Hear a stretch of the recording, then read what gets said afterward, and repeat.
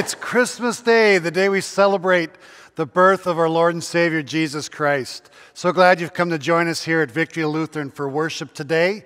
You're in store, it's a special service here.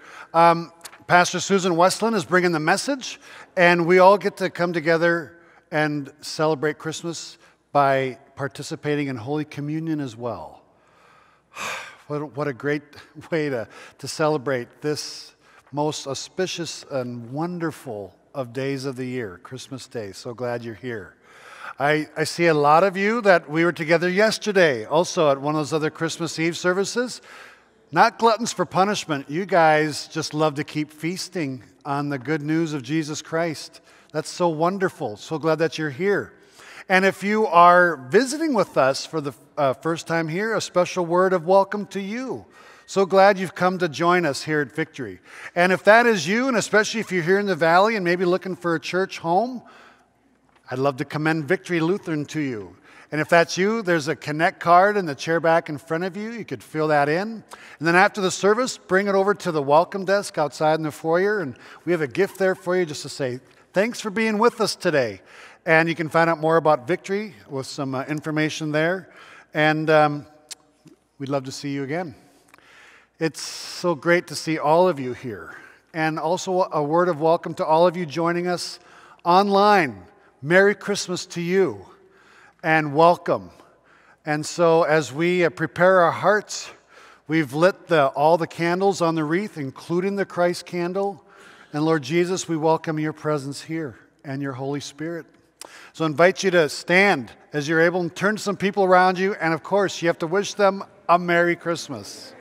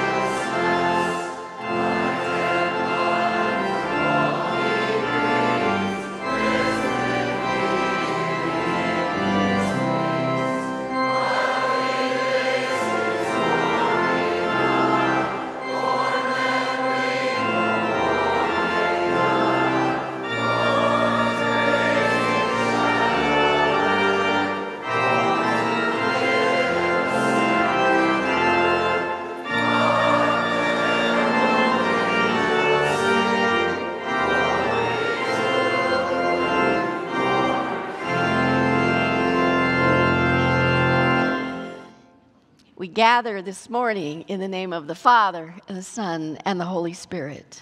Amen. Please join me in our Christmas confession. Your part will be in bold. Lord God, we praise you for sending your light and love into this world.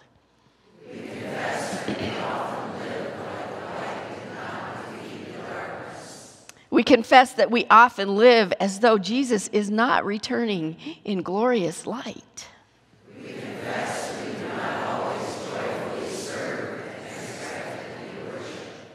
Forgive us for ignoring Jesus' light.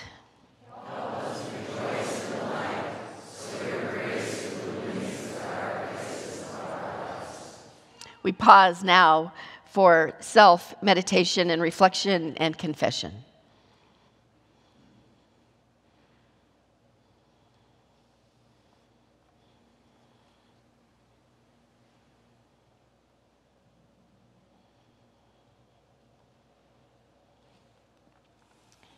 God of heaven and earth, you sent your angels as messengers to your servants bringing news of comfort and joy of your plan to heal a world gone astray.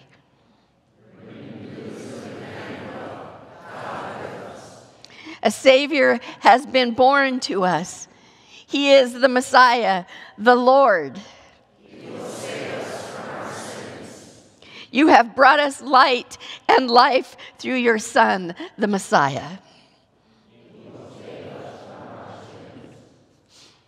Through the gift of the Christ child, we have the promise of eternal life.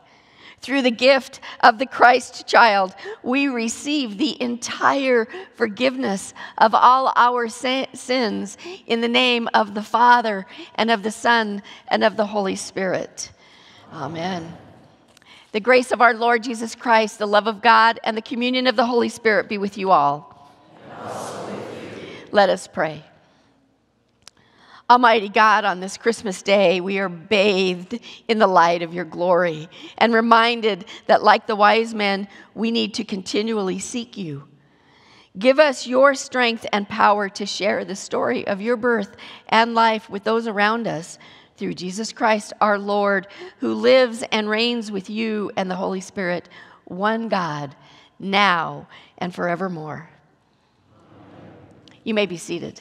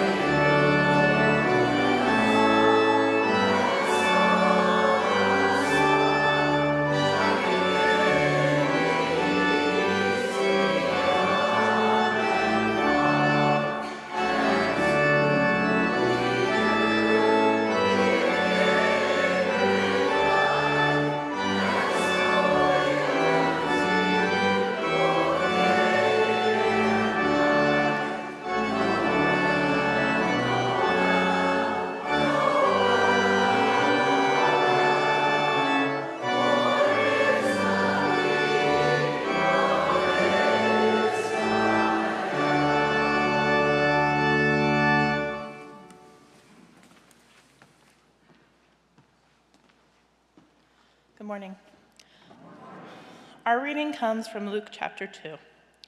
In those days, Caesar Augustus issued a decree that the census should be taken of the entire Roman world. This was the first census to take place while Quirinius was governor of Syria, and everyone went to their own town to register. So Joseph went up to the town of Nazareth in Galilee, to Judea, to Bethlehem, the town of David, because he belonged to the house line of David. He went there to register with Mary, who was pre- pledged to be married to him and was expecting a child. While they were there, the time came for the baby to be born, and she gave birth to their firstborn, a son. She wrapped him in cloths and placed him in the manger, because there was no guest room available for them. Here ends the reading.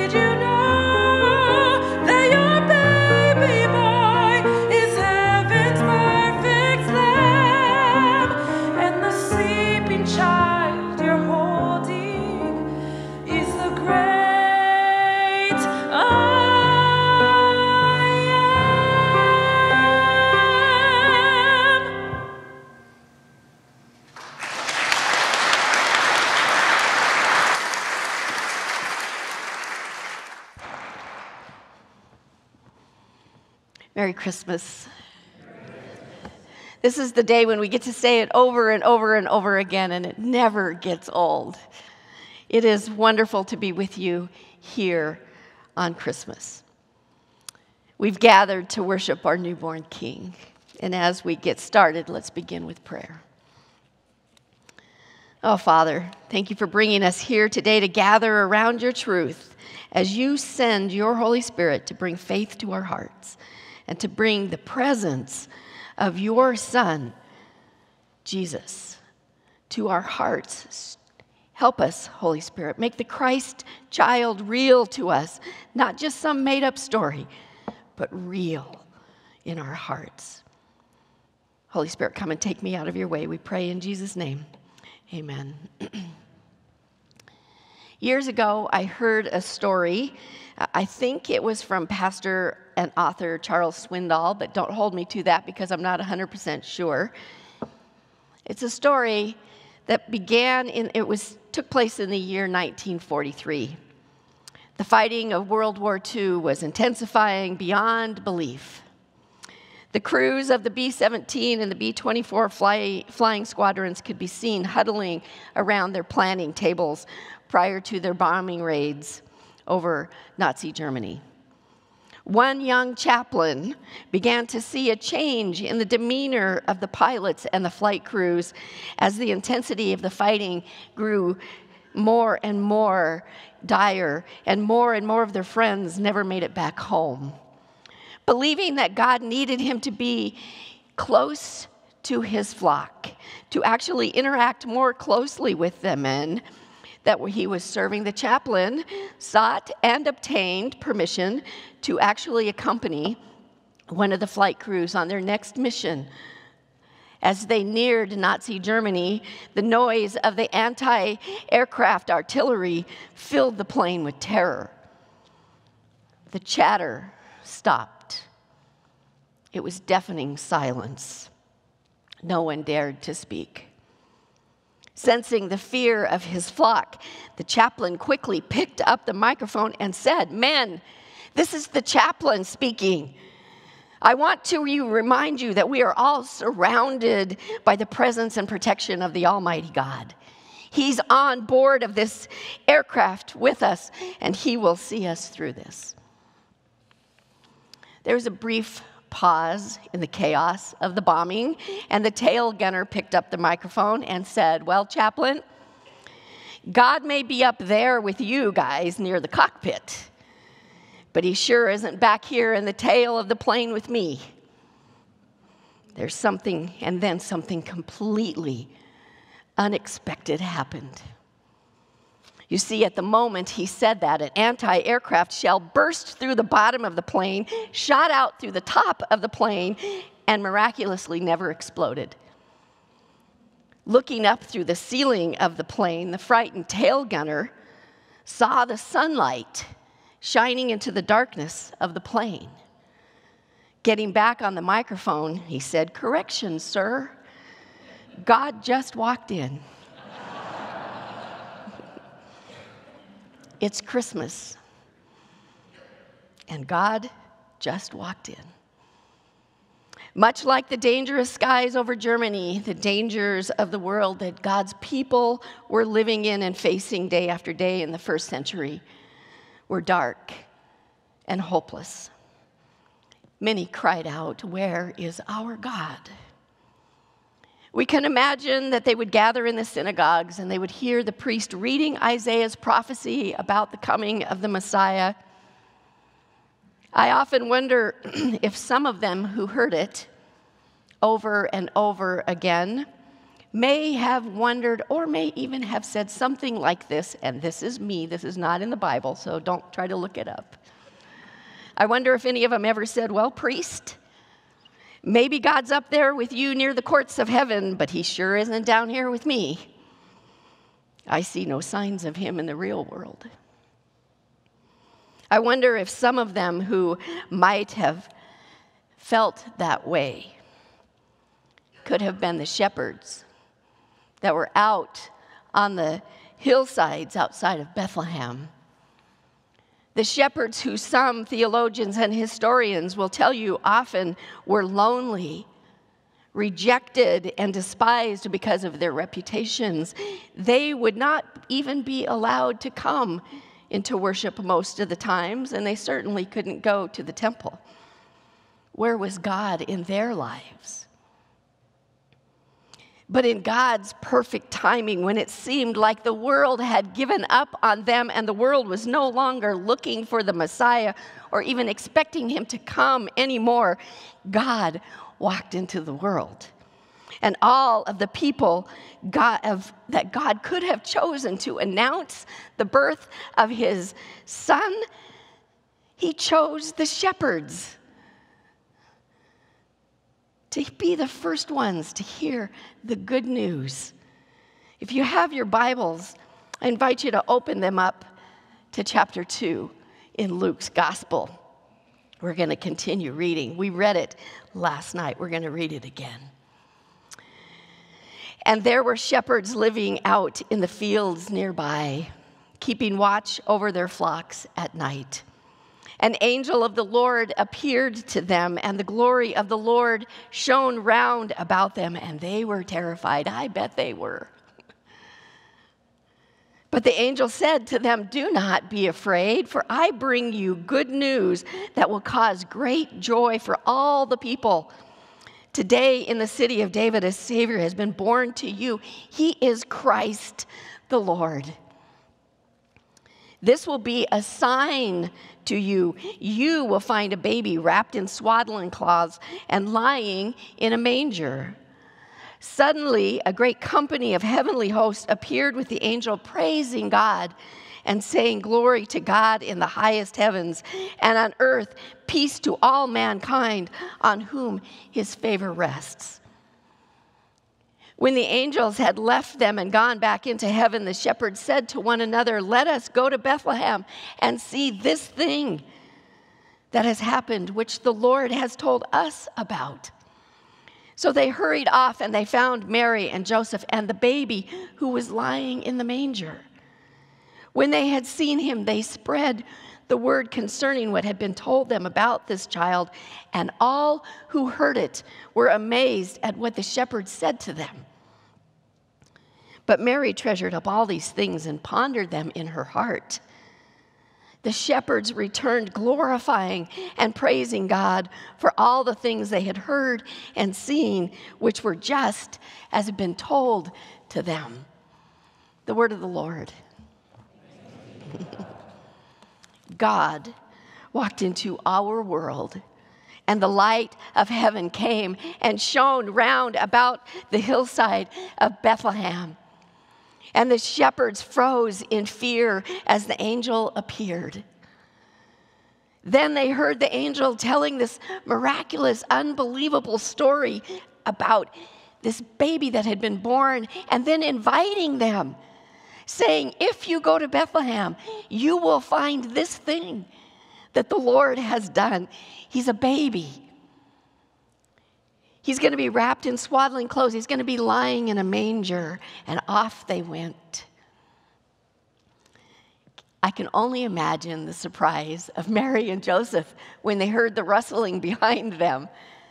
And the shepherds who had been out watching the flocks of sheep were now behind them, bowed down on bended knee, worshiping the newborn king, the Messiah that came to rescue not just them, but rescue the world.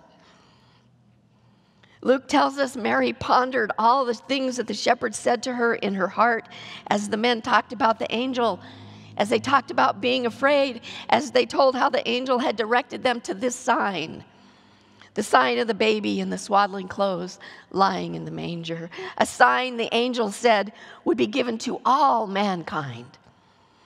It came in the middle of the night. He was born in the city of David, where the shepherds could go and find the baby Jesus, God's only son.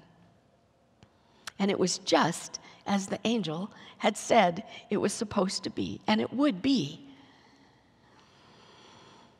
God walked into our world, and when he did, the shepherds encountered the living God. Word made flesh, our Emmanuel. And they were so amazed and they were so transformed in their hearts by their encounter with the baby Jesus that they went back home telling everybody that would listen about everything that had happened to them that night. And they were praising and glorifying God as they went back to the hillsides. You know, for us, it seems like there have been times when January comes and we think, I'm going to start this year with hope and optimism, and it's going to be different. but somehow, the chaos in our lives, the darkness that comes into this world, comes against us. And by December, the time the dark days of December roll around, the turmoil and the trials, the grief and the sorrow, the illnesses, the catastrophe of our sins comes crashing in. I wonder how many of us ever cry out, Where are you, God? And just as the words, Where are you, God, roll off of our tongues, a pastor steps up into the pulpit, gets up here with a bright face, lots of passion, and says, Jesus is here. The promised one has come. The baby's in Bethlehem. All is well. Just like the angel spoke. Go, they tell us. Go to Bethlehem, see Emmanuel. I don't know about you, but I can't get on a plane this year. I need Emmanuel to come here. I wonder if there's ever been a time in your life like it was mine when we may have thought, well, Pastor, it may be true that God's up there in that big old pulpit with you, but down here in the real world that I'm living in, the pain filled world that I am experiencing, trials and the chaos of my life, I don't see a whole lot of God around here. And to that, I speak back to you. And I speak back to this me when I said it the first time. Do you not know? These are words from Isaiah. You can find them in chapter 40. Do you not know? Have you not heard? Has it not been told to you from the beginning? Have you not understood that since the earth was founded, Christ was coming? Has no one come to comfort you, to speak tenderly to you, to proclaim to you that your sins have been paid for? 25 years ago, my answer to Isaiah was no. Nobody's told me that. I don't know what you're talking about. I don't even know who you are, Isaiah. I was living in a world experiencing a religion that didn't encounter the Bible on a daily basis. I hadn't even heard of these promises that a Messiah was coming. So, no, I didn't have any comfort in my heart that Christmas. I had never tasted the sweetness of God's forgiveness and grace. I didn't even knew that it, know that it existed. The religion which had abandoned me and told me that my sins were beyond God also told me that because I was a sinner, God was mad at me and that He would never love me ever again. They told me that I was beyond His redemption and they put me in a prison that I allowed them to put me in, and I was living in deep, dark pain. It had been that way for months and months, 18 of them to be exact. And one day, God walked into my world. He came in the person of my husband, Rich. The miracle of God walking into my life happened when this man, who was a lifelong Christian, found me because God sent him to me. When he learned of my spiritual plight, he took me on as a faith, faith project. That's what he says. I agree with him. he was determined to take me to Jesus during that time, somehow,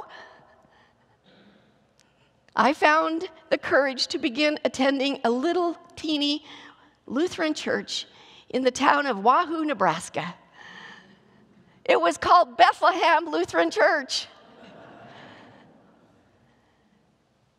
Each week I would drive and I would get in the parking lot and I would begin to shake, and it was everything, It took all of my strength to sneak in the back door to sit in one of the back pews.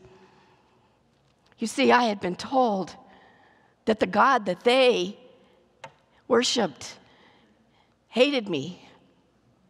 And I was not worthy to be in their, not just God's presence, I wasn't even worthy to be in their presence. So I would slink into one of the back pews, trying not to be seen. The music would start, the choir would begin to sing, and I would begin to weep.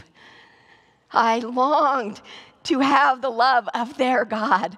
I longed to know the peace that was on their face.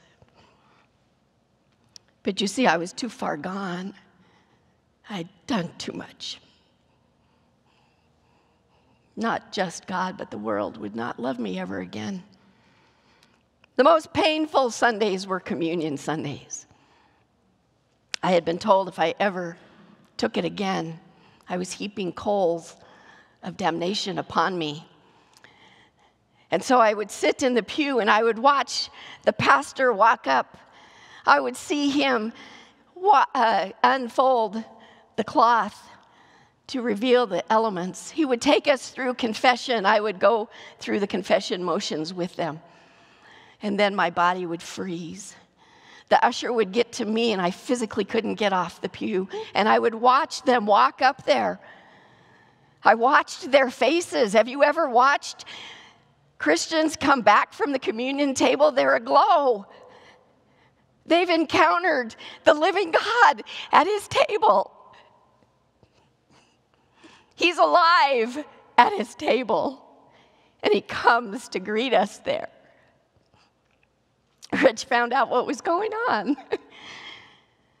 and one Sunday, he surprised me. And he knocked on my door, and I said, What are you doing here? he said, I've come to take you to church, and we're going for communion. I said, Oh, no, it cannot be. He was determined. He's just that kind of a person. We walked in, we sat down. I was paralyzed by fear. I could see the usher coming up behind us. I knew the time was coming. Rich stood up, and I sat there. I couldn't move, but he could. He reached out his hand and he grabbed mine and he took my shoulder and he lifted me off the pew and he held my hand tightly in his and he walked me up to the communion rail and he helped me kneel down. You see, I didn't know what was going to happen. I knew there were two choices. Either this God that I had been told hated me was going to strike me dead, or maybe, just maybe, I might be able to taste the love of God that these people had. He held me he held my hand all through it. The pastor was coming. My fear was overshadowing what was happening. And somehow the Holy Spirit gave me the ability to put my hand out. And the pastor walked up to me and he put the communion bread in my hand and he said, Susan, this is the body of Christ given for you. And I began to sob. I wasn't dead. I put the bread in my mouth and I tasted the sweetness of God's forgiveness for the very first time in my life. He came back around with the wine. He handed me the cup and he said, Susan, this is the blood of Christ shed for you. And the sobbing continued as I tasted the grace that flowed over me as the peace of heaven came upon me and I encountered the God who had walked into my life. Has God ever walked into your life? What about today? It's Christmas. It's the day that we celebrate the fact that God walked into our world. We celebrate the miracle of the light coming into the darkness to take away the sins of the world. This world can be cold, it can be dark, it can be lonely and painful, it can be filled with chaos, and yes, even rejection at times. And there are times when our sins and our brokenness drive us far away from the love of God. And we can feel the same way that I did so many years ago that we have done too much. We've gone too far. We're beyond the redemption. But don't listen to those lies. Those are lies of the enemy. My dear friends, listen to me this morning. This is your chaplain speaking to you. I want to remind you that we are all surrounded by the presence and protection of the Almighty God.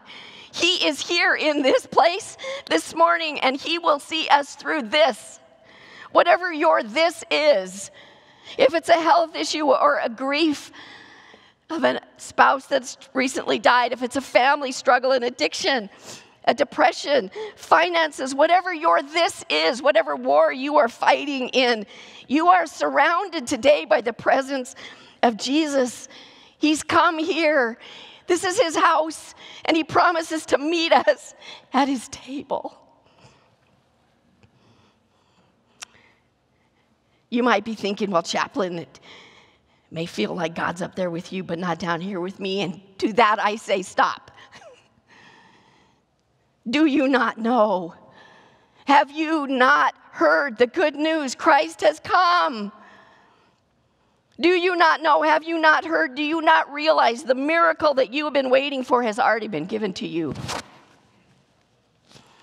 on that first Christmas day and that first Easter when he died on the cross for us and he was resurrected for us? So that on a day like today, when we are facing the this in our lives, He can come to us and He can say, I am here. You are not abandoned. As your chaplain, I declare to you, Jesus is here. He's walked into our worship service and He's waiting for us at His table of grace. All that remains is for us to surrender our hearts to Him on Christmas Day.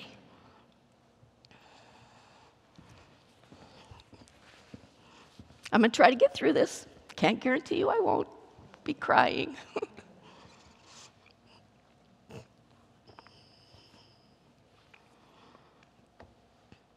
Just as that pastor stood there in that church, I stand at the communion table and I tell you that on the night in which our Savior was betrayed, he took bread.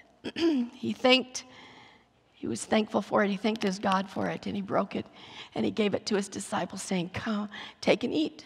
This is my body given for you. Each time you come to eat of it, do it in remembrance of me. Again, after supper, Jesus took the cup, and when he had given thanks, he gave it to all to drink, drink, saying, This cup is the new covenant in my blood, shed for you and for all people for the forgiveness of sins. Each time you come to drink of it, do it in remembrance of me.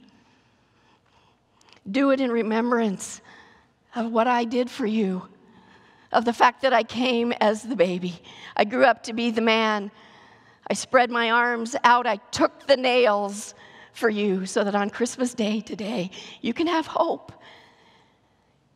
He's waiting at, the, at his table. I invite the communion servers to come up and prepare the meal. I ask the Holy Spirit to prepare your heart to come and receive our Lord.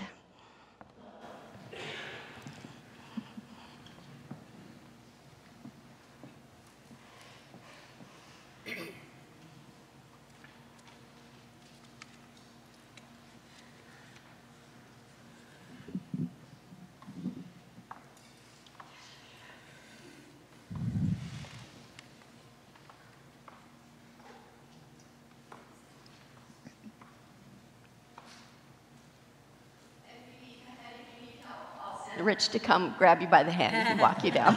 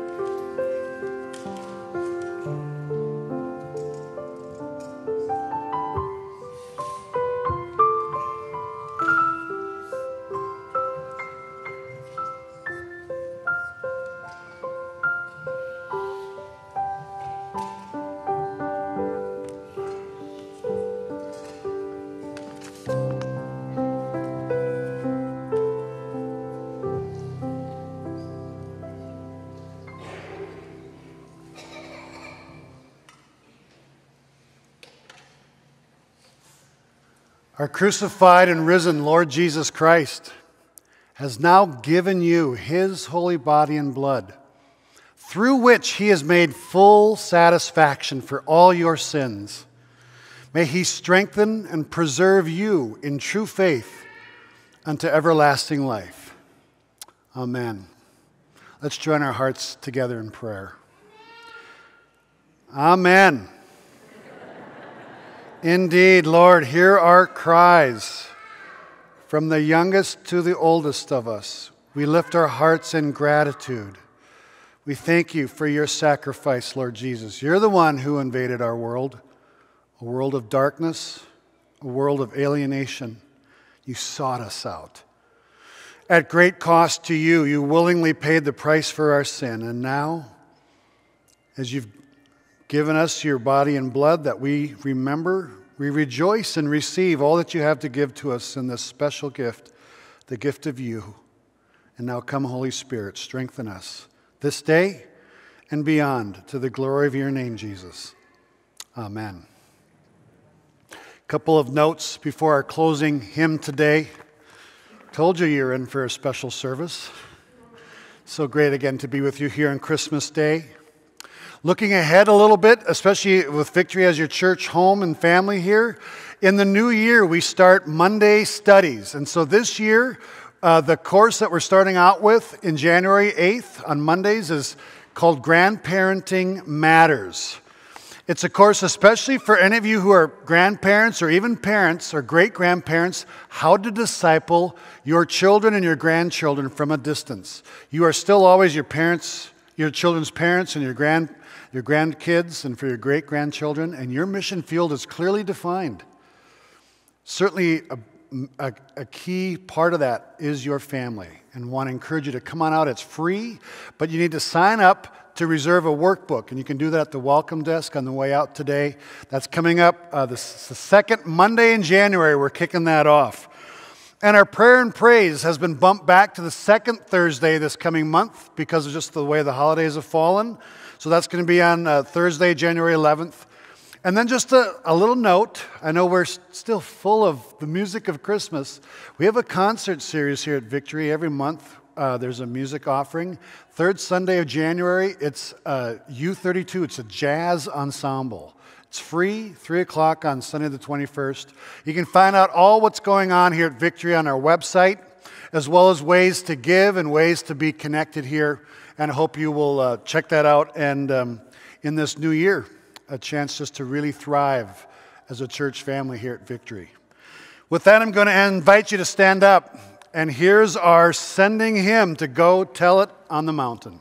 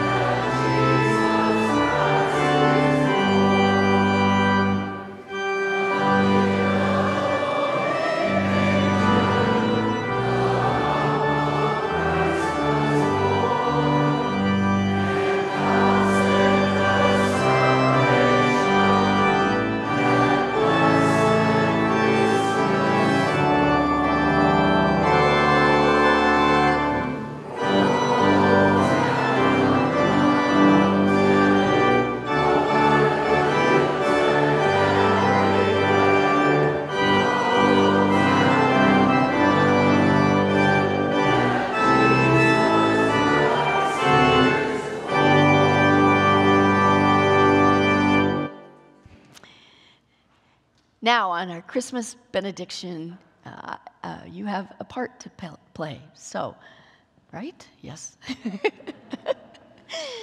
Yours will be in bold. I better make sure that I know what I'm saying. Okay. now, may the Lord bless you and keep you. May the Lord make his face shine on you and be gracious unto you. May the Lord look upon you with favor and give you his peace. In the name of the Father, and the Son, and the Holy Spirit. Amen. Go forth with confidence and joy that you have seen the Messiah. Merry Christmas.